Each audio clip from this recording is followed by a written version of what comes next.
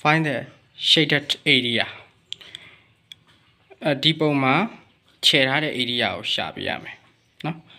ဒီခြေထားတဲ့ area ဒီတစ်ပတ်ချာလေးလုံးခြေထားတဲ့ area အဲ့ဒီ area ကိုရဖို့အတွက် large rectangle တွေက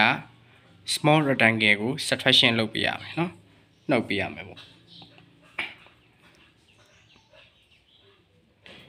area of large rectangle areas of large rectangle rectangle အကြီးရဲ့ area rectangle အကြီးရဲ့ area ဆိုရင်10 multiply something ဖြစ်တယ်10 multiply something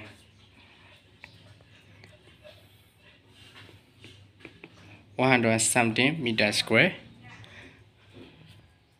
နောက်တစ်ခု area of small rectangle area of small rectangle a small area of small rectangle ကြည့်အောင် area of small rectangle area of small rectangle ကိုလိုချင်ရင်အဲ့တော့သူ့ရဲ့အလျားကိုသိရမယ်နော်သူ့ရဲ့အလျားကိုသိရမယ်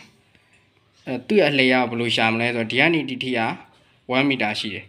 ဒီမှာတော့1မီတာရှိရလို့ပြောထားတယ်ဒီတစ်ပတ်ချလဲလုံးဒါလေးတွေအကုန်လုံးနော်အတီးတီး1မီတာရှိရလို့ပြောထားတယ်အဲ့တော့ဒီအစာဆုံးက something ရှိတယ်အဲ့တော့ဒီနှစ်ဖက်ကဒီ1မီတာနဲ့ဒီဘက်တစ်ဖက်ကဒီ1မီတာအဲ့ဒီနှစ်ခုကိုနှုတ်ပေးရမယ်နော်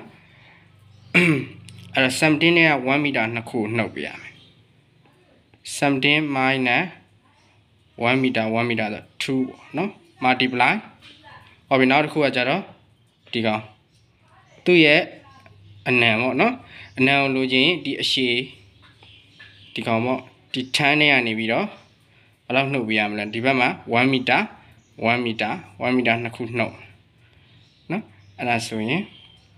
10 minus 2ပေါ့နော်1မီတာနှစ်ခုနှုတ်တော့ဒါဆိုရင်ဒီကောင်က15 multiply နော်ဒီကောင်က15ရမယ် ဟိုဘက်လည်း1မီတာဒီဘက်လည်း1မီတာ15ထန်းကကြတော့8ရမယ်နော်အဲဆိုဒီကောင်က15ရှစ်လီ120ဆို20 120 meter square ရမယ်ဟုတ်ပြီဒါဆိုရင်လိုချင်တဲ့ shaded area ရပြီ SHADED shaded area နော် shaded area ကိုလိုချင် ဟောဒီ117တဲ့က120ကိုနှုတ်လိုက်နော် meter square နော်ဒါဆိုရင်50 meter square ဆိုပြီးတော့ရမှာဖြစ်တယ်နော်ဒါဒီလိုချင်တဲ့ဟောဒီ shaded area ဖြစ်တယ်15 meter square ပါနော်15 meter square ဖြစ်ပါတယ်